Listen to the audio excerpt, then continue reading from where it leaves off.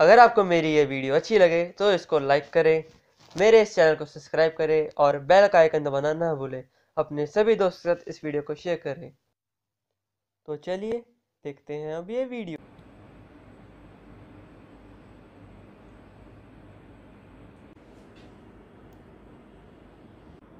जय माता दी। स्मॉली किचन में आप सबका स्वागत है।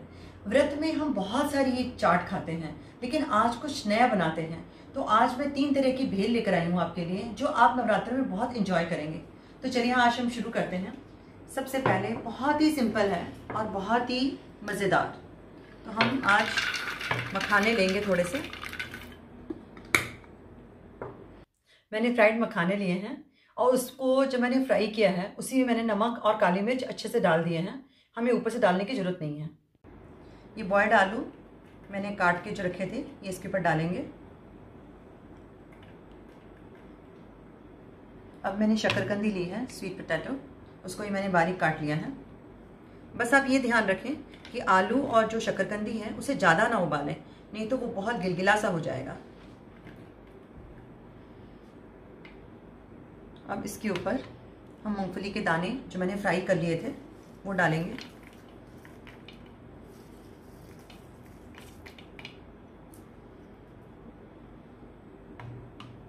अब इसके ऊपर मैं नारियल डालूँगी, जो मैंने कद्दूकच कर लिया था।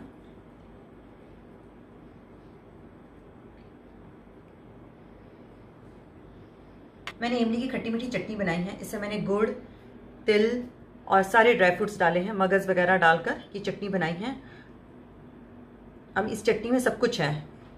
तो ये स्वाद बहुत बढ़ा देगा हमारी भेल का। इसको डालने के बाद हमें ऊपर से कुछ डालने की ज़रूरत नहीं पड़ेगी।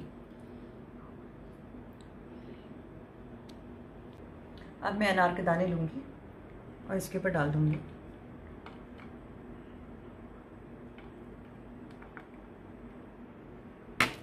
अब थोड़ी सी इलायची का पाउडर इसके ऊपर डाल दिया मैंने।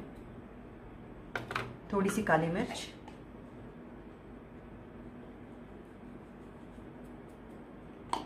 और थोड़ा सा पिस्ता लिया है मैंने।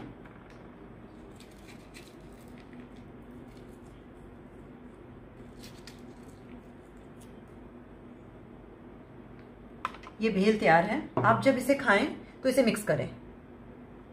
अब ये हमारी पहली भेल तैयार है। अब हम दूसरी भेल तैयार करेंगे। अब हम दूसरी भेल तैयार करेंगे। मैंने होममेड चिप्स लिए हैं।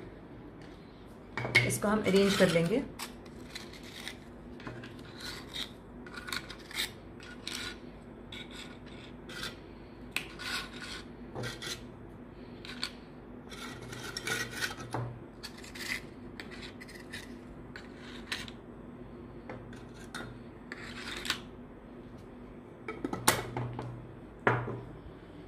अब मैं इसके ऊपर में ग्रेप्स डालूँगी। ग्रीन ग्रेप्स लिए हैं मैंने।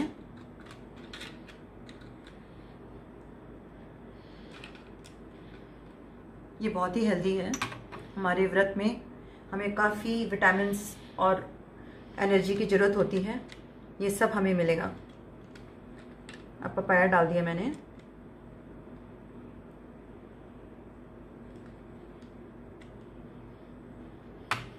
अब मैं मैंगो डालूँगी।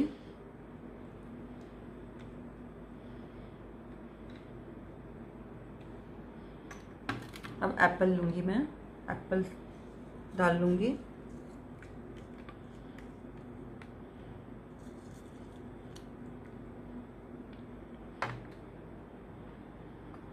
अब मैं ब्लैक ग्रेप्स लूँगी। ये डाल दूँगी। अब हम इसकी एक डिप बनाएँगे। डिप के लिए मैंने बहुत ही गाढ़ी दही ली है।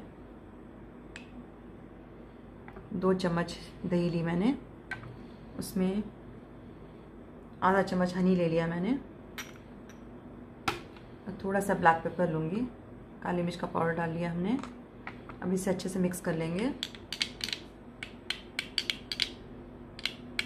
अब इसमें डिप में मैंने नमक डाल दिया है स्वाद अनुसार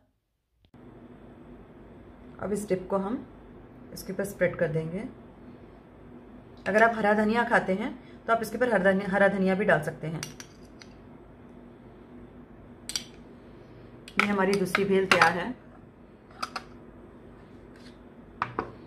अब हम तीसरी भेल स्टार्ट करेंगे। मैंने साबुदाने के पापड़ लिए हैं। इसे हम ऐसे अरेंज कर लेंगे।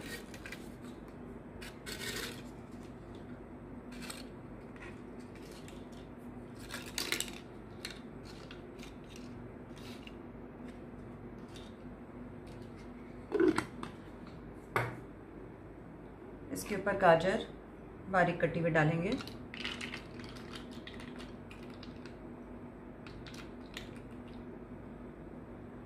खीरा लिया है, बारीक कटा हुआ।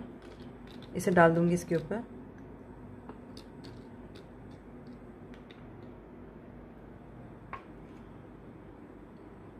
इसके ऊपर टमाटर डालूँगी।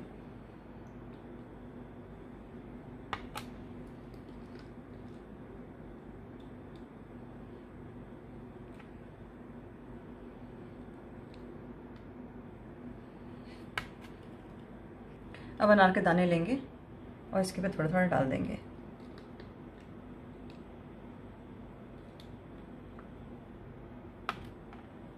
अब मैं थोड़ी सी काली मिर्च लूँगी और इसके ऊपर डाल दूँगी। और ये मिक्स ड्राई फ्रूट्स हैं, वो डाल देंगे इसके ऊपर।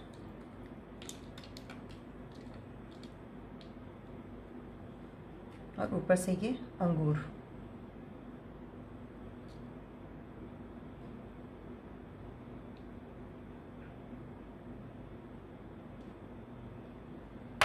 ये हमारी मसाला पापड़ भेल रेडी है।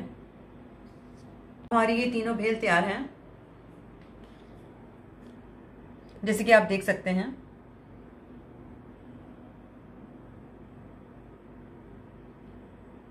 दोस्तों, मेरे चैनल को सब्सक्राइब करना ना भूलें, लाइक करें, शेयर करें और अपने फ्रेंड्स के साथ ये भेल एंजॉय करें।